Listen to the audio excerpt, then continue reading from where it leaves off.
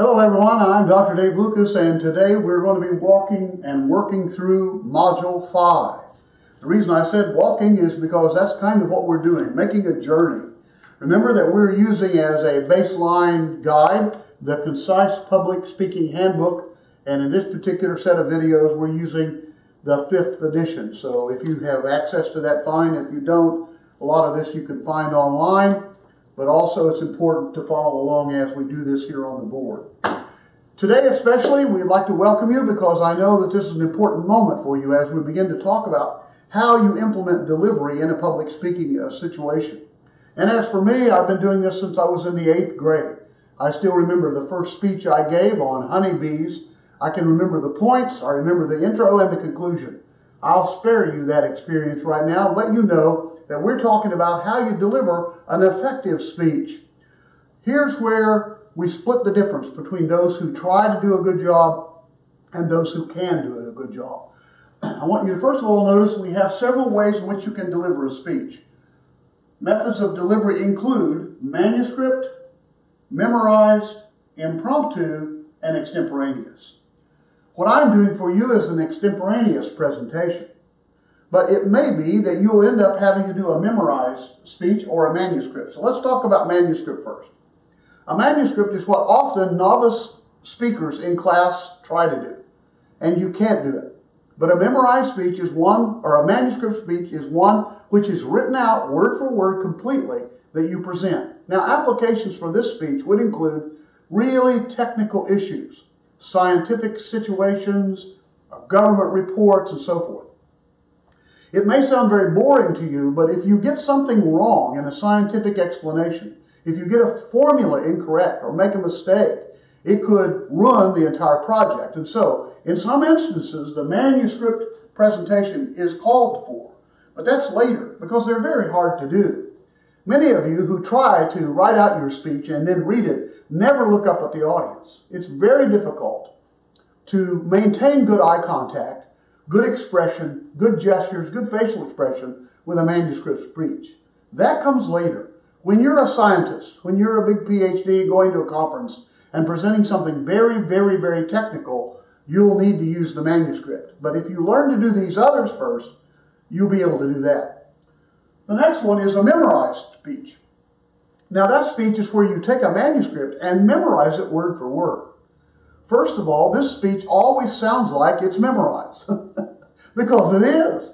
It sounds very stilted, very stale, it's very difficult to, to play off audience reactions and so forth because you've got it by rote memory what's coming next.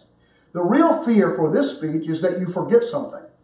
If you have to do a memorized speech, something word for word, and you forget, go back to the last two or three lines that you remember and start again. That should kickstart your memory. But sometimes it doesn't. Sometimes you're stuck. And especially if you didn't take your notes up with you, you'll never regain where you were. Even if you have your notes, often it's very difficult to find out where you are in those notes. So remember, these are for later.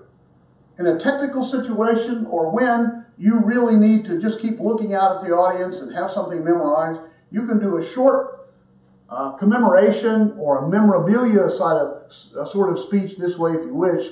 I prefer the last one, but let's go on to impromptu next. Impromptu speech is where someone will start saying, speech, speech, speech. If you win an award or somebody gives you something, something happens, and it's uh, serendipitous at best, you get up and give a little speech. Well, if you'll remember the rules of how you do a speech, then you should be able to pull this impromptu off without much problem. Have some sort of an introduction, do the point one or two, and then have some sort of conclusion. You can do that with just about any topic, especially if it's something that you know. Sometimes at a dinner that you're having um, for some big uh, celebration, they may ask you to get up and say a few words. That's an impromptu speech. They didn't say they wanted you to give a speech, but they just call you out of the audience to make some observations. The last speech, though, is the best one. Extemporaneous. This is what I'm doing now. I don't have everything all written out. And although I have this outline memorized in a way, I don't have everything all written out, memorized that I want to say. So what you want to do in an extemporaneous speech is like we're doing in class or like you're doing um, you know, for, for these exercises is to make sure that you have those points there. You can look down at your three by five card and you can look back up and look at the audience and it seems natural. It seems straight out of your heart, right out of your mind. It's casual. It's relaxed. It's not real formal, nor stiff, nor stilted. This extemporaneous speech is the best way to go almost everywhere, especially now in our culture. Live videos and all of this are very extemporaneous. You can have a good plan, nothing wrong with that, and still go live on a video and make a presentation. So we have manuscript memorized, impromptu and extemporaneous, this being right now in our culture the very best way to do it, unless you're in some sort of a very, very technical or scientific uh, conference or situation. Now let's move on to nonverbal communication because that's what I'm using. Nonverbal communication includes eye contact, gestures, movement, posture, face, and your attire. All of these work together to do nonverbal. Nonverbal communication is believed more than verbal communication. That's why you see a politician who says, I'm not a crook. And if his nonverbal doesn't match up what he's saying, you probably think he or she is a crook. Look, people believe nonverbal more. And so if your eyes are shifting all the time, even if you're a really good speaker and your eyes are always shifting, people think you have something to hide. You've got to get the nonverbal to match the verbal. First of all, eye contact. Don't buy into this thing where people say, look at the corners of the room. Watch. I'm looking at the corner of the room. You know that I'm not looking at you. You need to look your audience right in the eye. Find people who seem to be pleasant and have pleasant faces and seem to be responding and keep looking at them. Someone over here, someone over there, someone over here. Keep shifting that back and forth, but look at the audience as you speak. Don't look in one direction with somebody who you like a lot. The audience will notice. So eye contact is critical. Don't look up in the air. Don't look down. Don't keep reading your notes. Look at the audience. Next includes gestures. Now your gestures need to be out and open, not closed in, not this, not this, not this, not this, not all this. Out, open. Lead with your wrists as you make a gesture. Always make sure your gestures are arcs and circles, never straight lines, ever. It looks like you're doing that dance, you know. Try to make all of those gestures very out, open, and very, very comfortable and relaxed. Sort of a casual way which to say, I want to go over here. I'm going to go over there. Look up there. Look down here. That's the way in which you really use these hands to talk along with what you're saying. Next is movement.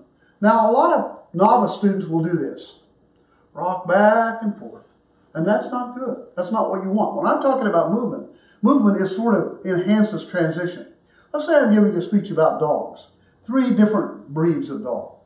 We have the husky, we have the French poodle, and we have the basset hound. Well, you see what I did there?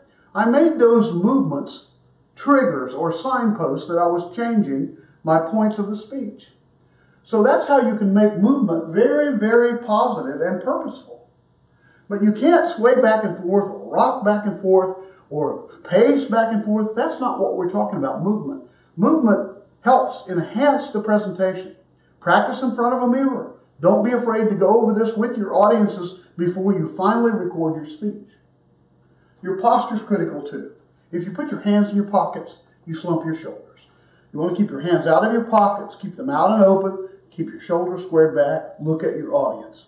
Don't tilt your head, don't rock back on one foot or the other. Everybody has a tendency to get these feet too far apart and do all this stuff. Don't do that. Try to think of, of you making a good presentation.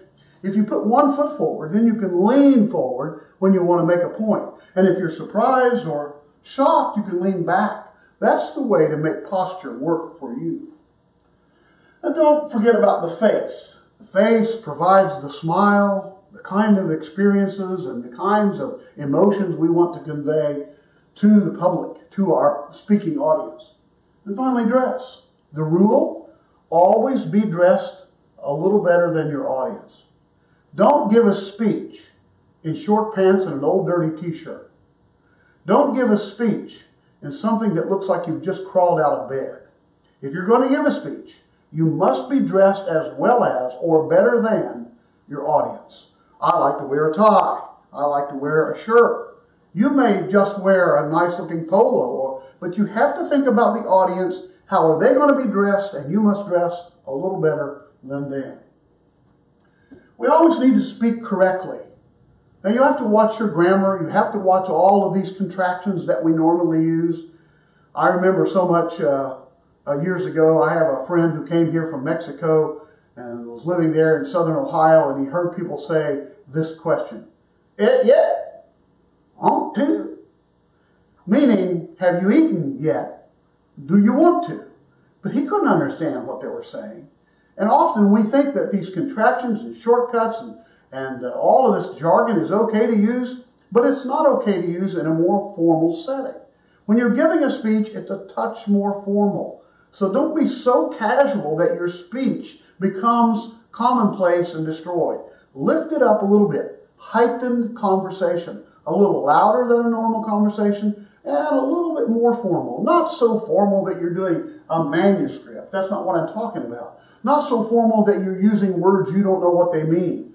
But a little more formal that has you speaking correctly with the right verbs. For example, you can't say, I seen that. That's improper grammar. And it shows that you, even though you might have education, you didn't listen in English class. I have seen that. I saw that. That's correct. But that happens all the time, especially in the tri state area Ohio, Southern Ohio, West Virginia, and in Kentucky. We have to be very, very careful about the way we speak. Now, it doesn't mean you have to be, hello, I'm here to give a speech. That's not what we're talking about. But at least think about the way you speak. Have your audience be open and truthful with you. If they catch something, it'll help you. And finally, when you do a speech, often you'll want to do presentational aids. You can't use little papers and little posters that nobody can see. So the rule for this is provide something clean and nice looking, professional looking. Provide something large enough to see.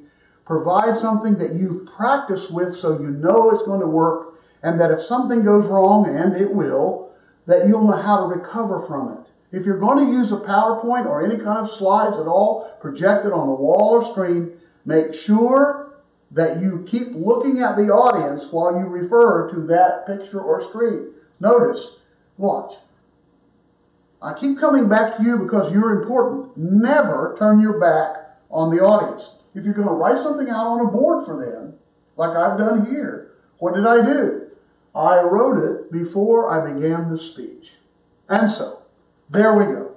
Great methods of delivery, manuscript memorized, impromptu, and extemporaneous is what we're doing. Nonverbal communication is believed more than verbal. Verbal should be correct and clean, good grammar and speech. And finally, if you're using presentational aids, and you should, then you need to make sure they're clean, bright, powerful, big enough for us to see, and they enhance your speech. I'm Dr. Dave Lucas. This is Module 5 and you are having fun in public speaking.